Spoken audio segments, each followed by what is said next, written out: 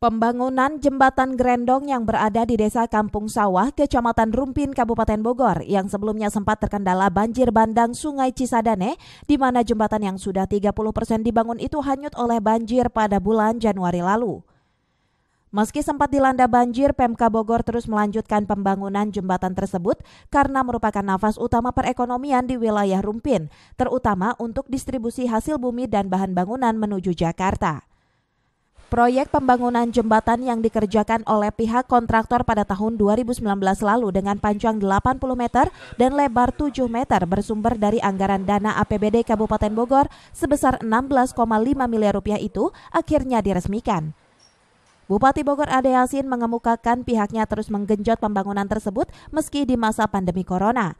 Diharapkan dengan pembangunan jembatan ini bisa meningkatkan denyut ekonomi di wilayah utara Kabupaten Bogor.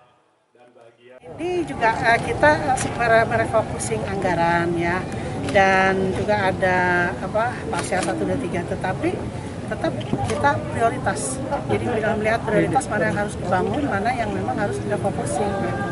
Jadi kita tetap bisa membangun. Tadi sudah saya sampaikan bahwa sekolah masih bisa dibangun, jembatan masih bisa dibangun, dan kita pun di, di kesehatan tidak terganggu. Kita masih membangun rumah sakit isolasi, uh, dan uh, kebutuhan rumah sakit juga terpenuhi. Bupati menegaskan meski berkonsentrasi pada penanganan COVID-19, namun Pemka Bogor tetap memprioritaskan pembangunan terutama infrastruktur jalan jembatan, sekolah, dan kesehatan. Dari Rumpin, Kabupaten Bogor, Suhanda Abrizi melaporkan.